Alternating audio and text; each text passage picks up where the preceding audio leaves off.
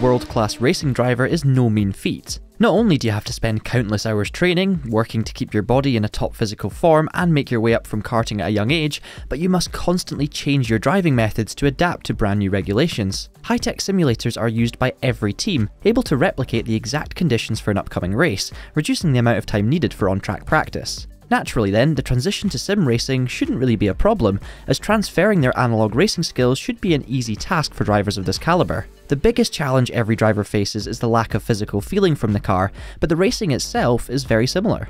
So, who are those that extend their passion to the virtual world, and have you come across any of their identity protected avatars yet? We've gone down the grid to find any inkling of sim racing experience to answer those burning questions.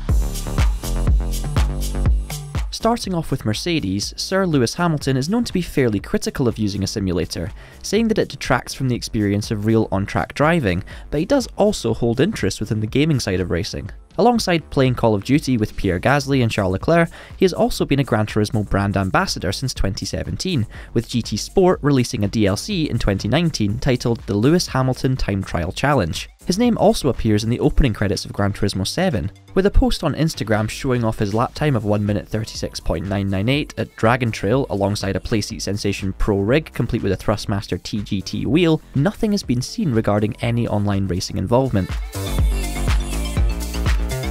On the other hand, the newest Mercedes driver has been frequently involved within the sim racing scene. Showing off to the world in 2020 on his Instagram page, George's setup boasts an impressive SimLab P1 rig, Fanatec F1 base, Asher Racing F28-SC wheel, and quadruple curved monitors. Not bad. During his second year at Williams in 2020, his efforts within the virtual F1 Grand Prix series were eye-catching, as he gained 7 podiums and 4 wins throughout the 8 race series for Williams Esports. While he did stream on Twitch under the username GR63, he unfortunately hasn't shown up on this platform for over a year now, probably due to his busy schedule.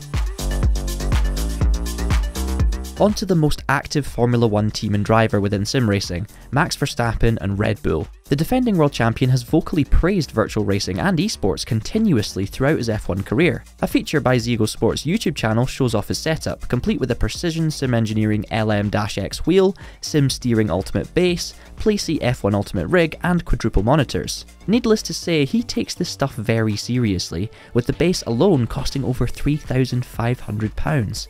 Blimey. While driving for Toro Rosso at the time, he joined one of the most successful sim racing teams in 2015, Team Redline, and has remained there as a driver ever since. This is also the same year he successfully completed an overtake on Felipe Nasr on the outside of Blanchimont at Spa, where he tweeted a video of himself practicing this move with his sim racing teammates before the race. Somehow during his busy F1 schedule, he still finds time to actively participate in multiple iRacing events, with his main and alternative accounts boasting an impressive 8000 iRating. Unfortunately, however, two of his previous endurance outings in early 2022 have been unsuccessful. After starting second and taking the lead on the first lap of the 2022 Le Mans virtual race earlier in January, disaster struck on the 124th lap as the car lost control and slammed into the Ford chicane barriers, losing the left rear tyre in the process and unfortunately retiring from the race. A week later in the iRacing Daytona 24 hour, his team had another retirement due to an unfortunate power outage, leaving Verstappen unable to participate in the event.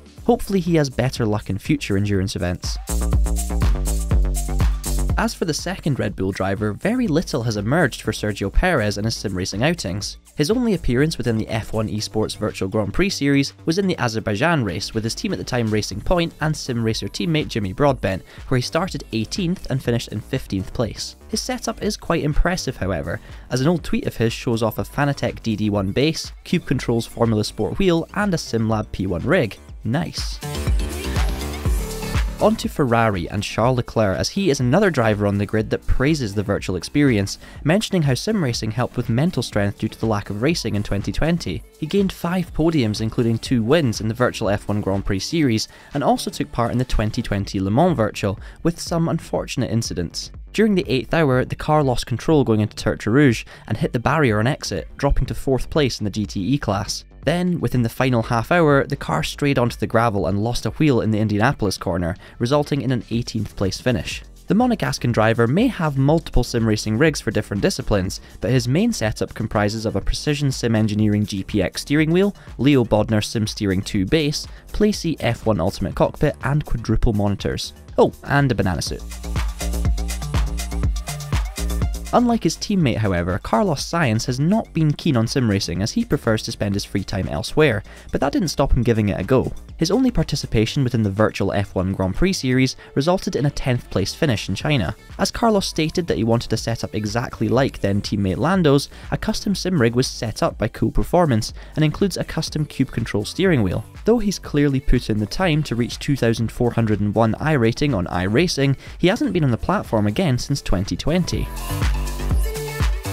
McLaren's number one driver, Lando Norris, has been a huge name within the esports scene, praising its uses and advantages over the real world form. He also sits alongside Max Verstappen in Team Redline, and regularly streams on Twitch to an audience of over 1.2 million followers, the most followed F1 driver on the streaming platform. His esports venture doesn't stop at racing however, as he has founded a Halo organisation named Quadrant in late 2020, alongside Veloce Esports. This is where Carlos's inspiration to jump into the sim racing world came from, as Lando has a simulator from Cool Performance, complete with a precision sim engineering LM-PS steering wheel. An iRacing member since 2013, he currently holds a 5.5 K iRating and has made 1,307 starts alongside 550 wins. That's a 42% win rate. Blimey. Outside of iRacing, he has also participated in the Virtual Grand Prix series, with 4th being his best result through 6 races, and he also finished the 2020 Le Mans Virtual Race in 25th place, due to a glitch occurring within Verstappen's stint. Though he's yet to return to the series, hopefully the upcoming Le Mans Virtual Race in 2023 will see Lando return to the event. His Aussie teammate on the other hand, Daniel Ricciardo, has previously disregarded sim racing, as he prefers to spend his time training or with his family, and fears he could become addicted due to his competitive nature. However, he has recently stated that he will be giving it a try, as there is more to it than just being a game. Pierre Gasly is another driver involved in sim racing. The AlphaTauri driver has previously showed up multiple setups, one of his most recent pictures showing a precision sim engineering GPX steering wheel and a SimuCube 2 Pro base, locked onto a custom made rig by Sector 1, with everything mounted on top of a D-Box Generation 1 haptic motion system. Lovely. His outings within the Virtual Grand Prix series have been largely unsuccessful, only reaching 12th and 20th place within the Azerbaijan and Canadian races respectively, though his 2020 Le Mans Virtual attempt is way more impressive, as he raced for Veloce Esports alongside Jon-Erik Verne, Jarno Opmeer and Isaac Gillison when they managed to reach an impressive 5th position, the best result out of all of the current F1 drivers. As for Yuki Tsunoda, he has admitted that his virtual racing experience is limited, although recently he's spoken about getting himself a sim rig. His only showing is through Red Bull's Beat the Pro challenge on Gran Turismo, where he showed off his impressive lap at Suzuka in the Honda NSX Group 3 and tasked the players to beat a 2 minute dead .627. On to Aston Martin, and the only thing out there for Lance Stroll is a virtual lap of the Circuit of Americas, back in 2018 when he was racing for Williams. Yep, that's it unfortunately. But hang on, here comes to sub into the virtual seat for Aston Martin. He was involved in the first two races of the real season, so it's only fair to include him here. Nico was involved in the first race of the Virtual Grand Prix series, earning 11th place at the desert-based Bahrain. He also participated in the All-Star Esports Battle in rFactor 2, where he unfortunately finished in 21st place. Even if his results have been unsuccessful, he still deserves credit for his photogenic sim rig. His setup looks to be a Cube Controls Formula CSX2 and a SimuCube 2 Pro base, housed inside another custom-made setup provided by Sector 1. As for the four-time world champion Sebastian Vettel, you may be surprised to find that he has indeed participated in sim racing, considering his lack of online presence and focus on family and activism. Although his only known outing was a P12 in the Legends Trophy, he also deserves an award for the best looking sim rig of all time. His final team in Formula 1, Aston Martin, created Sebastian a sim rig comprised entirely of the AMR21 chassis, and boy does it look spectacular. Complete with a whole load of speakers, triple monitors, and a precision sim engineering LM-PS steering wheel, his setup puts most sim rigs to shame. Just look at it.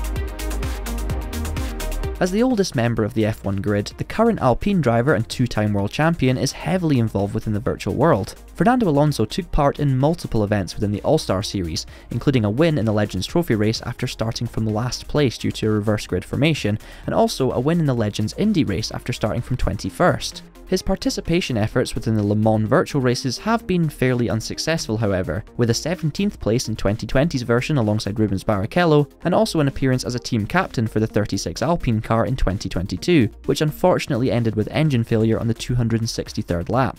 His sim rig is in full display within the Amazon Prime video documentary Fernando, which showcases a custom setup by All In Sports, and features the podium racing wheel and base and a widescreen monitor.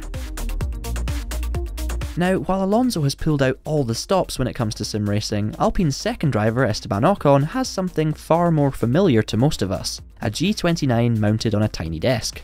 But hey, with only the one peripheral, you too can be a Formula 1 driver. His only appearance within the virtual Grand Prix series was for the Monaco race, where he failed to make the start, but he was being filmed for the broadcast at the time, so we do know he was using a Playseat Formula Red sim rig and a Fanatec base.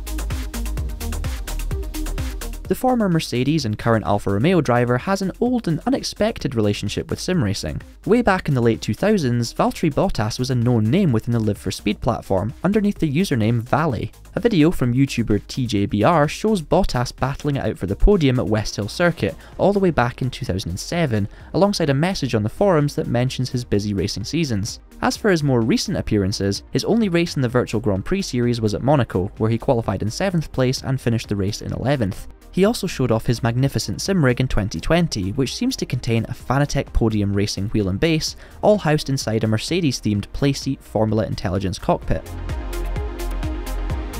As for the latest F1 rookie, Zhou Guanyu has been rather private about sim racing, claiming he secretly plays in open lobbies within the F1 games. That had all paid off within the Virtual Grand Prix series, as he claimed victory in round 1, followed by a podium in his home round. Other than that, we haven't found many details around his virtual life, but hopefully you'll be able to race alongside him within an open lobby sometime.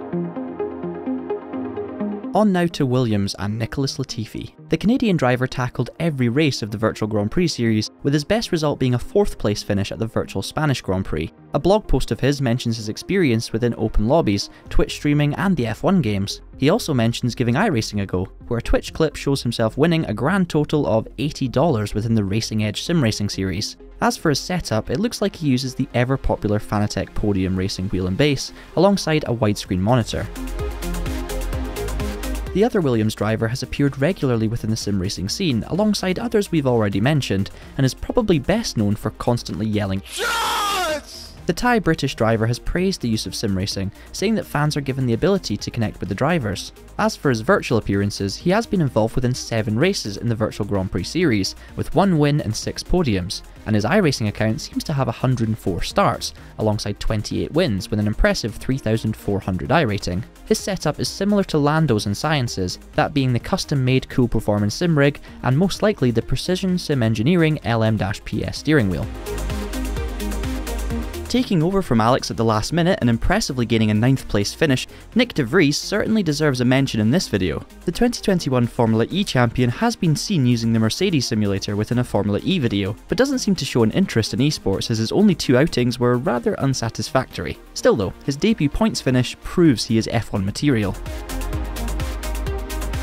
Finishing things off with the Haas team, Kevin Magnussen has previously stated that he's not very interested in sim racing, although his dad, Jan Magnussen, has participated in multiple virtual events. In May 2022, however, Asetek Sim Sports announced Kevin as their brand ambassador, with a video announcement showing off their line of sim racing pedals. We'll, we'll take some for our rigs if you have any spare. Cheers, Kevin.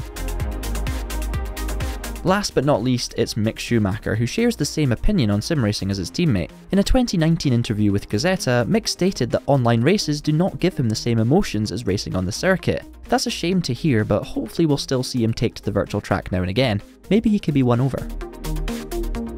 And that's it, every current F1 driver and their involvement or lack of involvement in the world of sim racing. Who surprised you the most? Let us know in the comments below. Subscribe to the channel for more content like this and hit that notification bell to catch these videos as they are released. In the meantime, thanks for watching, keep it pinned, and have a great day.